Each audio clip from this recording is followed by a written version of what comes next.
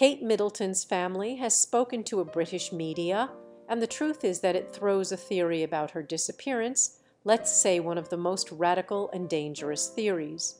In this sense we have to say that just this afternoon both William and Harry, his brother, will coincide in an act, they will coincide in quotation marks of course in an act commemorating Princess Diana Spencer of Lady Di.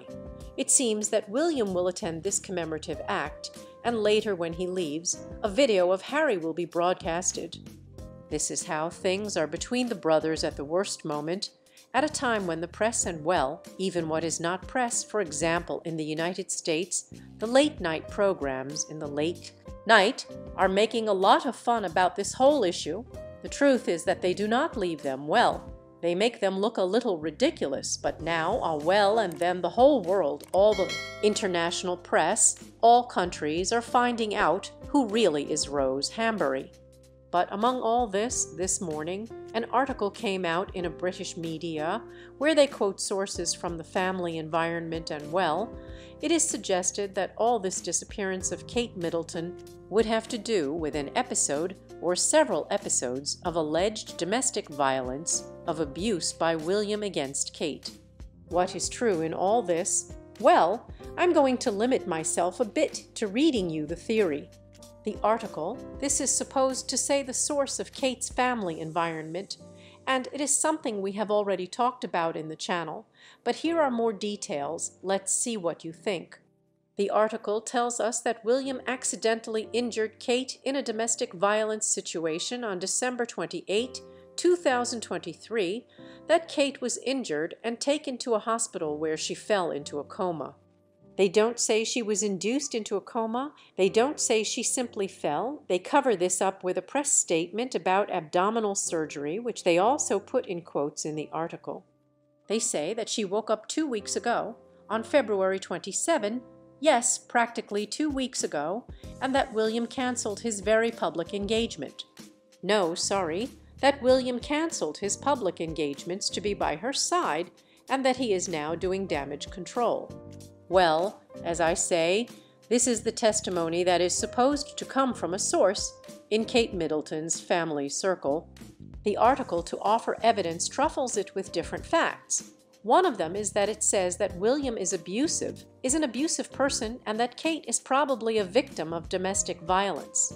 That this we can find an example of his behavior in an excerpt from Harry's book. It says that he verbally abuses his brother, becomes violent and then asks Harry to hurt him, it says once he's realized how far he's gone. He says he even asks Harry to keep this incident to himself and insists to him that he never attacked Harry when it's true I remember that episode and was shocked because I said I don't know. Harry then says he admits to his therapist that while he had a history of physical struggle with his brother, it all kind of felt strange, different. He says the behavior, this says this in the article, already. William's behavior aligns with the cycle of, I would translate this as passive-aggressive people, but well, here they say the abusive cycle of stress, violence, apology.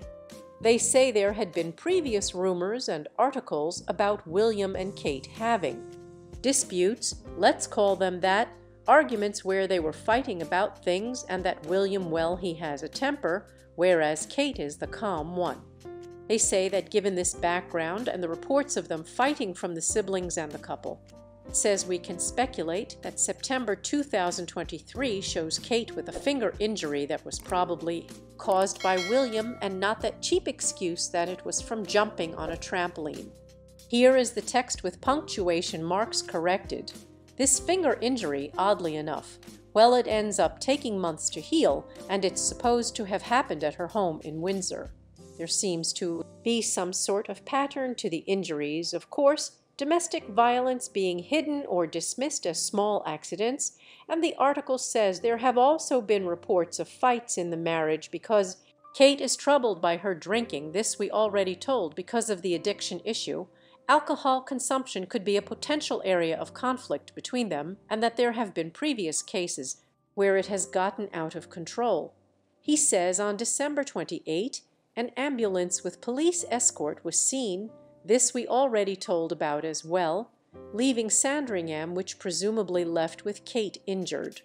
They say she suffered serious injuries after a more than likely altercation with William, and take a statistic that says incidents of domestic violence are higher during the vacations. The evidence is taken a little thinly by the statistic. They say that Palacio is taking a wait and see approach in the face of all this, providing enough information so that a more coherent sort of narrative can be constructed. But this is all in the medium slash long term. But that the timing of their publications as it makes it obvious that they are in a wait-and-see mode, a watch-and-see mode. There is a timeline that, well, I'm not going to read it because it's quite long, but it gives a good account of this, of this storyline that Kensington Palace has taken in this case, and only from here we take a little bit of Charles and Camilla, William and Kate. It starts on December 22, where from the palace they announce that they are going to tour Italy in early 2024. They say they wouldn't have done this if they hadn't known that Kate might have needed some kind of procedure or surgery. December 28 is already when Kate disappears and to this day. Well, says other PR people for your information. They deal with all kinds of releases, kind of like Harry visiting Charles, Pippa Middleton on vacation, Kate's brother also in the snow with his family waiting for that new baby. And with this mix, they say that the British press on the palace side, we don't know if Kensington or Buckingham or both, include articles with false leads about Kate and her family as they go from Sandringham visits to Norfolk an article that came out at the time when they suddenly moved from Adelaide Cottage, where Kate was resting in White Week, to somewhere else, and it was quite surprising, because it was like saying no, no, everything is fine, everything is going piano, piano, recovering, and that's why she's going to take a vacation here. It didn't make any sense. They also include something that doesn't seem that important to me, but it's true that all the articles highlight it, and that is William's absence from the memorial service on the morning anniversary of Constantine of Greece, his godfather. He says it could be so important that he will not attend this important engagement. One knows that if he cancels at the last minute it will lead to even more speculation. We remember that this funeral coincided with making public the death of Thomas Kingston, of which now many media are putting Prince William as the main suspect for a theory that the truth is that I do not see much sense in. All that seems to me that it is a bit infantilizing everything we are talking about and reduce it to the minimum expression that was that William, not sorry that was that Kate had been with Thomas Kingston, and that he committed suicide or was killed on William's orders, or that William was practically already there. All of this is kind of what is being picked up in the last few days. It doesn't make any sense. Here there are a lot of people willing to believe it, but I honestly, having seen a bit of this, I question it quite a bit. The article effectively ends with February 27. The day they say Kate woke up coincides with Constantine of Greece, and that he wanted to get back to her side as soon as possible because to make sure she corroborates his story, that it was an incident and probably participated in all that in a photo shoot as soon as possible in something that could sweep this whole incident under the rug. But the article ends like that. The question remains if Kate joins or if this leads to them splitting up well, there we are left a little bit. Let's see what I say. To me, this sounds a bit like a British tabloid that says it has sources and tells stories. But it is true that if Prince William has a history of violence since he was a child, it does not mean that it could have been reproduced as an adult. In fact, the only testimony we have is what Harry tells us in his book. I am not going to excuse it because it is something that has been commented on since minute one. Something happened during the Christmas holidays that Kate suddenly clicked. Here, let's not say it encompasses everything. It doesn't refer more to physical blows because then she puts the parallelism with the fights. With the fights she had with her brother, it would be very serious.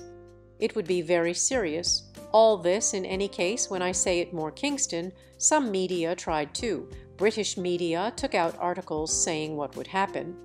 Hey, what if a prince commits a crime? How would he be tried and everything, and all that stuff? Many of us took it as, but well, they are pointing him out as a suspect in the death of this one, and it could refer to something else. It seems the marriage was not well. It's all been told already. Addictions, infidelities, and Kate being princess all the time, and William is the heir apparent, he knows that he is going to count on the crown, but even so today there are also other articles that report a kind of war of succession in the making, that the brothers of the king of King Charles are out there that could well, accessing the disinterestedness expressed by William and Kate sounds to me like a bit of a S-M-I-L-L roll. I don't know S-M-I-L-L in tentacles, but that would be something to analyze in another video. It's a very serious theory. I personally believe that nobody in Kate Middleton's family, except perhaps the uncle, could have